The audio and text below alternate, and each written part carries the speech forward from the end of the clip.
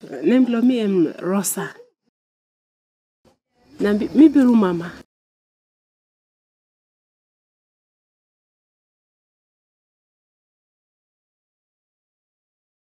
Mi sa work. Mi sa work in birum na mi sa kari koro biru market na mi sa sare. Lo biru market mi kare biru na go putil. Ino samtim lo okera tai mi pa kisim biru. Ose se wan pladera de ra ki mi kisim e mi sa bazetim go tru na mi sa.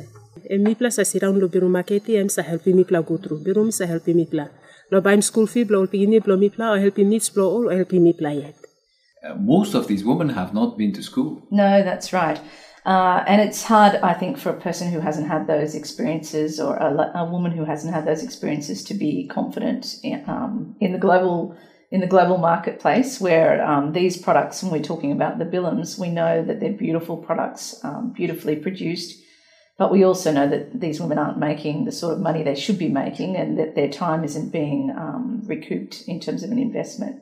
So this is a great opportunity for them um, to get uh, to find their voice. I think in the, in that sense, and bringing the market to them and helping that develop um, is really important. They're wonderful products. Um, they represent history and culture, and they can also now represent the future in terms of economics and um, and in terms of health, education, and the economic opportunities for women.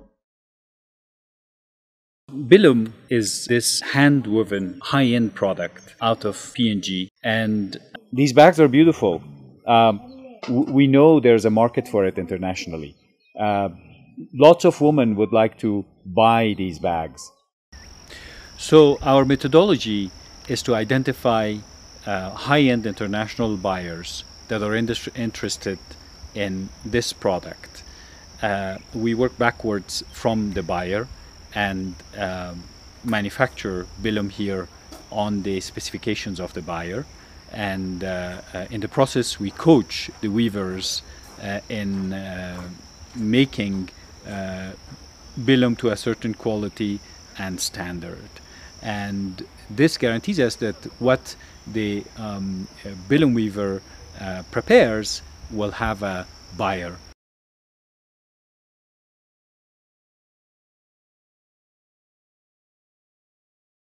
This is crochet raffia.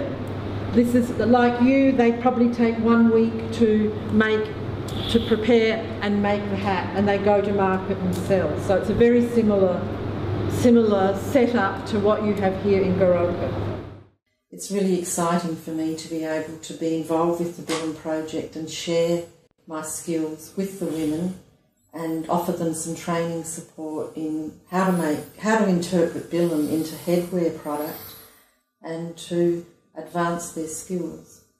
For me, the Bilum project has been a great uh, learning opportunity to date because I can't believe that Papua New Guinea is so close to Australia, yet these women are living a life of poverty, and the Bilum is their creative expression. And if we can make their lives easier by offering some technology to help improve the pace with which they can produce the Bilum, then we're really advancing the lives of these women to improve their communities, their families, and their livelihoods.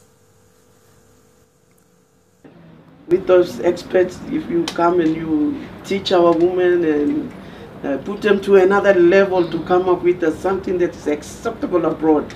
I have been to some nations and I see if there's anything that's like my Bilum, but there's nothing. The solution here is to make sure that through a transparent system, the money comes back to the weaver. And finally, Rosa will be paid for her labor, for her time. And that's the role of the ITC. That's ITC in action. And I guess until we have not done this properly, we won't quit. We will help Rosa and her colleagues here.